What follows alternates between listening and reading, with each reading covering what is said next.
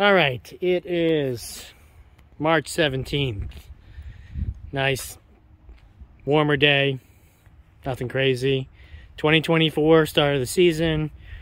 She's been out of uh, storage for yeah, a day or two, but she was only in for maybe two or three weeks total time between uh, February and, and March uh, because we didn't have a whole lot of snow this year and she only comes off the road if there is salt on the ground. So got her washed today so she's looking particularly shiny and penny here. Can't wait to go to the beach at the end of the day. Uh, no major exterior updates. Uh, the only thing of note since last year is we did the exhaust again and put a uh, what is it? A Delta 50. Uh, I think it's a Flowmaster. It has a nice sound, but not too crazy because it's baffled internally, but no packing. So it won't get any louder or quieter over time. Um, similar volumes. There's a different video. Similar volumes to last time. Um, yeah, so nothing really changed on the outside. You know, things get a little older, is what it is. Here's the interior. I probably should clean these, uh, get some fabric cleaner, carpet cleaner, and take care of that. You know, headliners doing great, but a couple of spots where people touch things. We got the fold out chairs or pull out chairs, and I always keep a multi-ton jack just in case. Uh, but nothing here. You know, again, got seat belts on this chair. Um, one new thing that I just discovered today while playing with it, which I never noticed before. So obviously we got the the whole setup. And I was looking at this, and it's like, this kind of looks like a grab handle. I was like, let me see what this is, and what do you know? I got two more cup holders. They're filthy because who knows? They could be 40 years of uh, of of unuse. Um, but yeah, no real major interior changes other than we modified some of these windows so that you can uh, fully open them should you desire, uh, which is a, a nice feature. But you can then put a longer pole uh, or yeah, post on it so that if you want to have it fully opened up, I guess for if you were camping or something like that, which again, I'm not really the type that uh, looks to sleep in the van. Got some color matched or color green colored food trays. Those come in handy when you want to have a beachside meal. Um, have worked on the insulation a little bit. Um, I used some window uh, high heat uh, insulation. I put a strips going all the way around and then there's a, a, different style right here.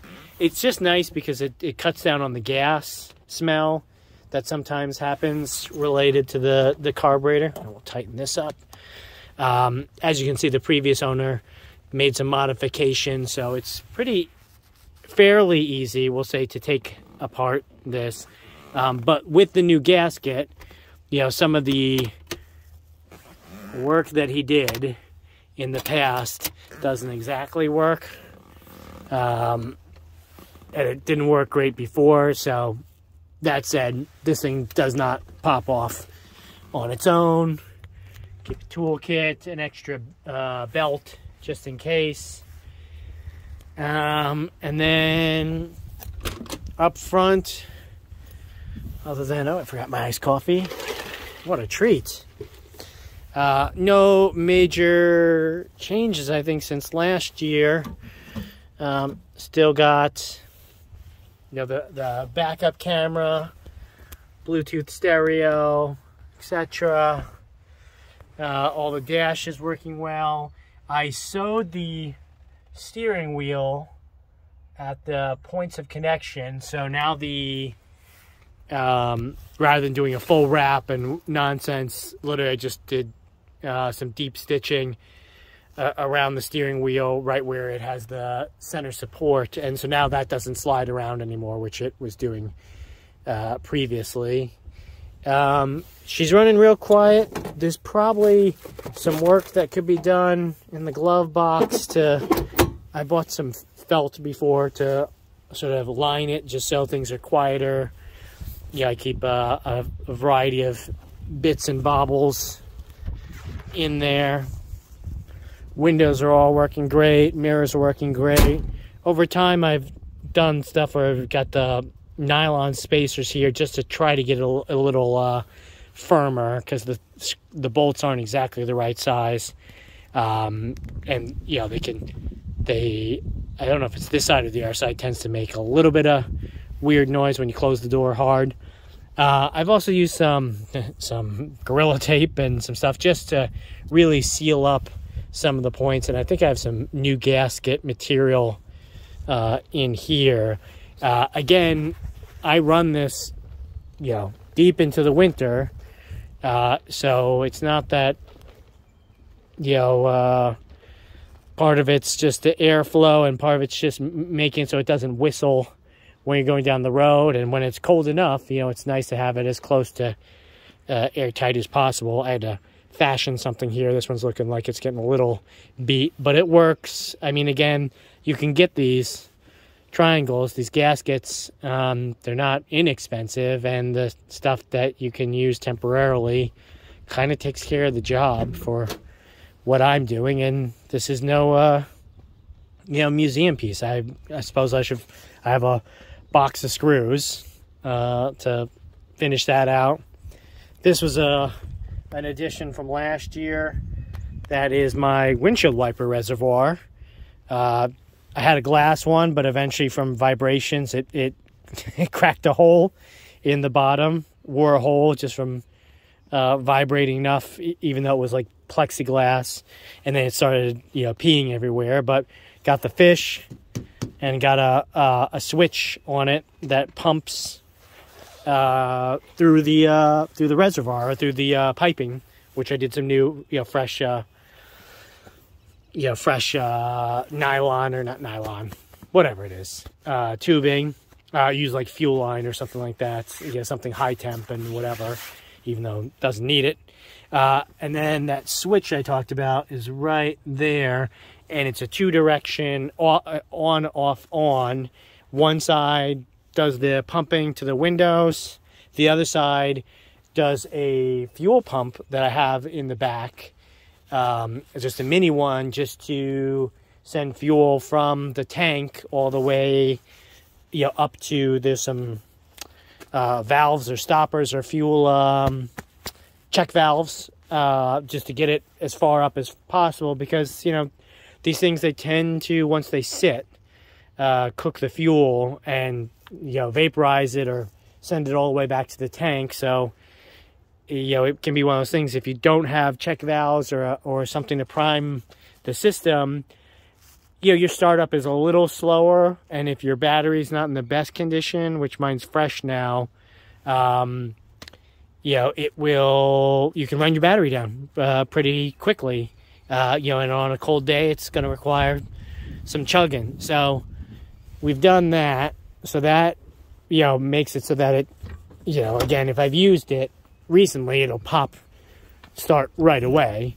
Uh, but if it's been sitting for a while or if it got really hot and you didn't use it for a day or two and all the fuel's out of it, that'll make it uh, pop quickly or start up quickly. So I've got these stupid little things on here. Um, I just put those on because, you know, a lot of these things, they rattle.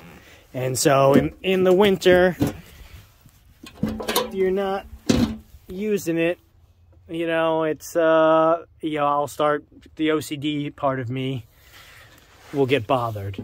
Uh, new battery, this one barely, well, you know, barely fits. It's about the biggest battery you can get. It's definitely oversized compared to the prior.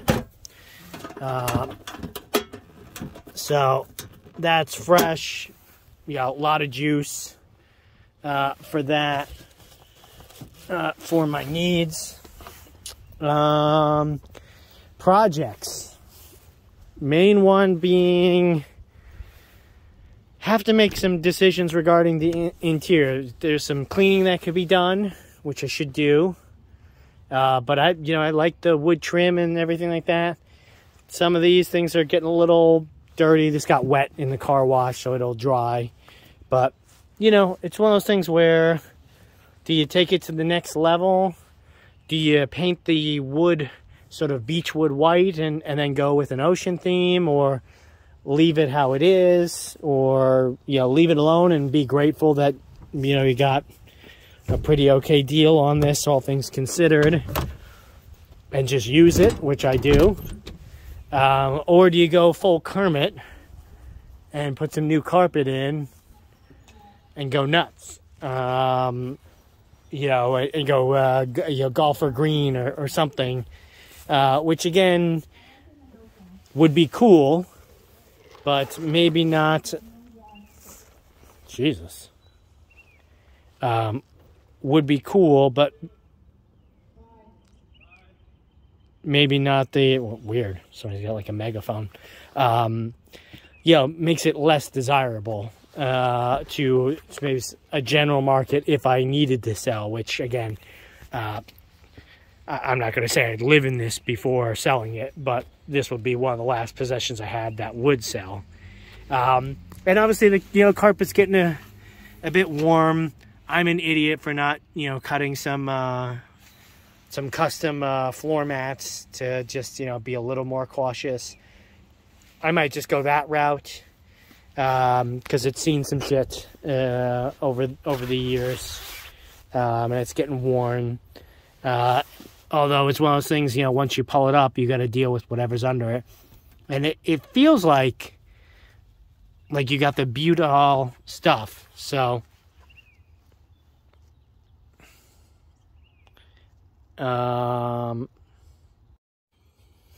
uh, as I was saying before, the accountant called. Uh, you know, it, it feels like it's there's the butyl backed insulation on the ground too, which is nice. I always keep a fire extinguisher nearby. One of those things, you know, if you get a little fire, if you can't do anything about it, you know, kind of sucks. Whereas a lot of times, if you can catch it early. Um, but yeah, so that's a project. I'm happy with the 3.23 diff. Um, happy with the exhaust and how that sounds. I guess we'll fire it up. Why not?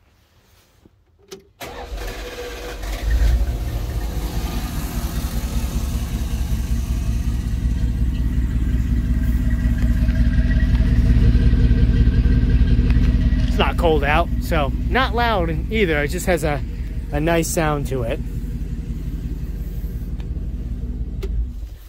You know, and I got a regular size starter, so I mean, all that battery and all that juice, it it it turns.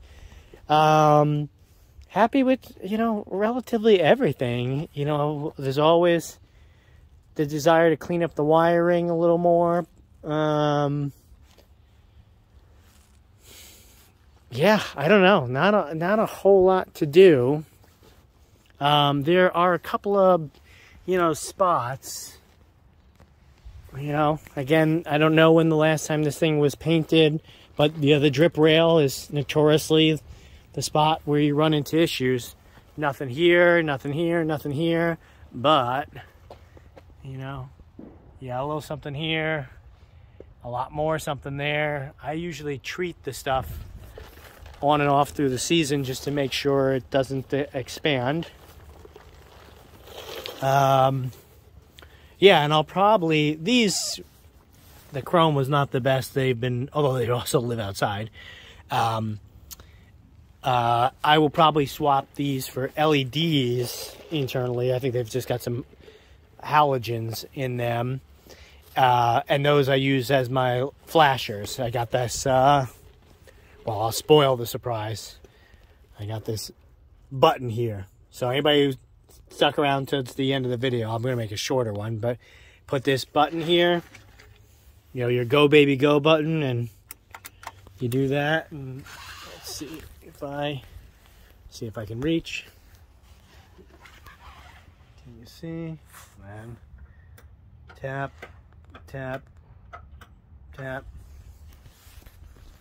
Nice, just as flashers rather than, you know, pulling and pushing that. So, um, I might put, you know, LEDs in that because they're not that bright. Uh, and they're rigged to the power side. So they don't come on as suddenly um, as if you just had the uh, the ground disconnected. So, anywho, little things.